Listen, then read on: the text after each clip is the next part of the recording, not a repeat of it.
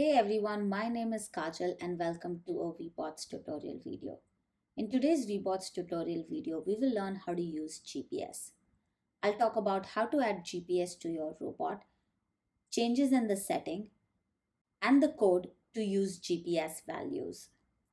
I've included the timings here and in the description below. This Webots tutorial will be conducted in Python. If you're looking for the code in other programming languages such as C or C++, tell me in the comments below. And if I do end up making them, I'll include them in the description below. So without further ado, let's get into it.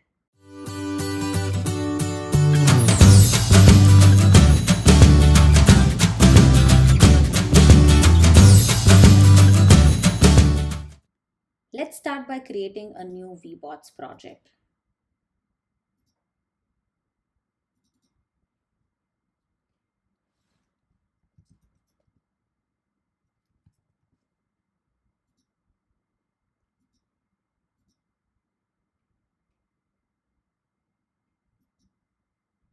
As you can see, our Webots world has started with a rectangular arena. The first thing I'm going to do is make it a little bigger. So go to the Webots scene tree, click on rectangular arena, floor size, and then we'll change the X and values to be 2 by 2 and hit enter. Next, we're going to add a robot. So use the plus icon to add a new node. I'm going to use the find button to type e-puck Select the E-puck robot and click Add. Make sure to keep saving your Webots world. Next, let's add GPS to our E-puck. Go to the Webots scene tree and click on E-puck. Under E-puck, go to Turret slot. Then click on the plus icon and then under base node, select GPS. Click Add to add this to our Webots world and make sure to keep saving your Webots world. Next, for our particular case, we need to make some changes to our world. Go back to your Webots scene tree and click on World Info. Under World Info, make sure your coordinate system is NUE and your GPS coordinate system is set to local. With this, Let's move on to writing our Webots controller code.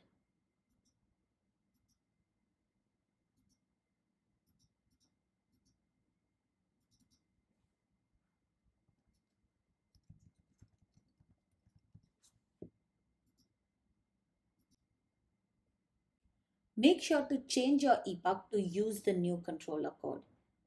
Go to the Webots scene tree, click on e-puck. Under e-puck, go to controller and then select the new controller code we just created. And make sure to save your Webots world. I'll start by writing basic code to enable motors and move the e-puck around. If you've never written a Webots controller code, I recommend checking out my tutorial where I go over the basics of writing a Webots controller code. I'll put it in the cards here and in the description below. Let's get to it.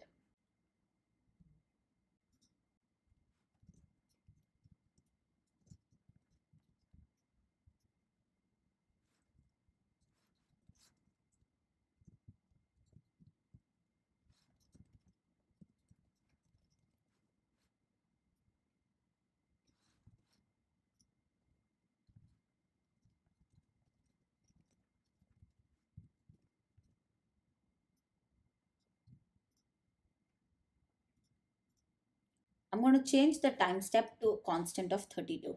I'm also creating a variable max speed and giving it the value of 6.28, which is the max speed for e-puck in Webots. Next, let's initialize the motors. I'm using variables left motor and right motor for my left wheel and right wheel motors.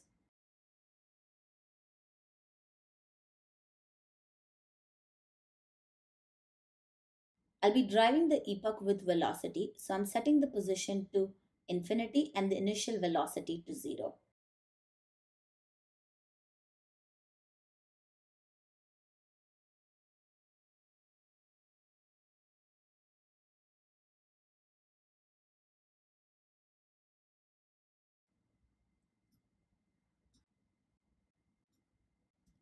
Let's simply drive the robot straight.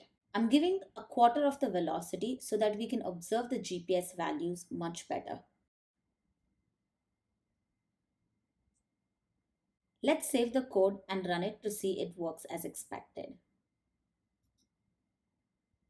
To run the Webots simulation, click on the play icon.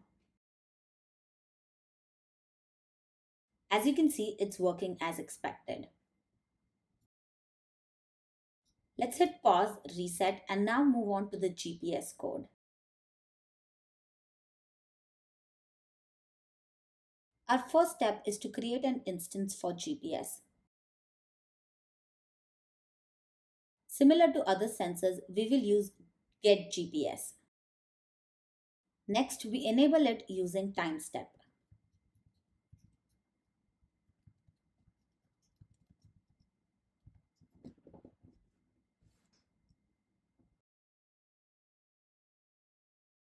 Next, let's read the GPS values.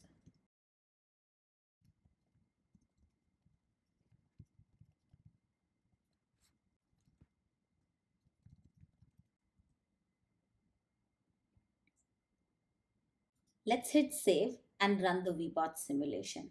Click on the play icon for Webots simulation. It looks like I made a typo. There is no underscore between time step. Let's save that, reset the world and run it again.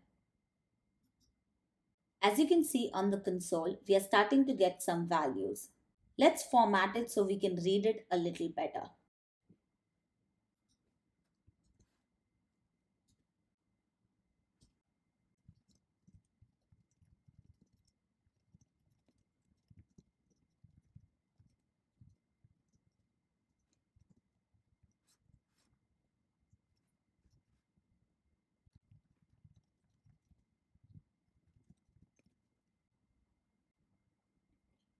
Make sure to save your Webots controller code.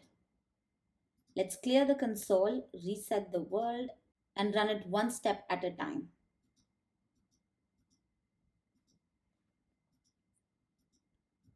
As you can see, they are much easier to read. Now let's also understand what these values represent. For a better understanding, I would say enable the coordinate system. So go to View, optional rendering and click on show coordinate system. You should see a coordinate system here with x, y and z. The red marks the x coordinate which is the first value. The blue marks the z coordinate which is the last value and green marks the y coordinate.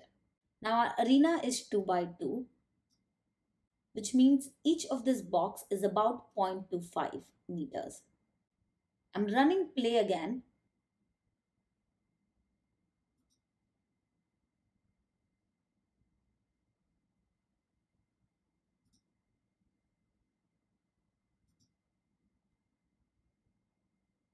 After running the simulation for a little while, we've got the e-puck at the end of one of these quadrants.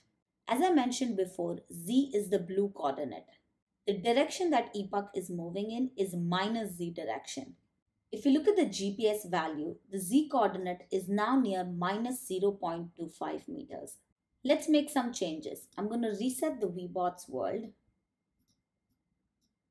Click on the e-puck, go to Webots scene tree, rotation. Y is 1 and angle is 1.57 radius. Hit enter. As you can see, the robot has rotated. Make sure to save your Webots world, clear the console and run the simulation again.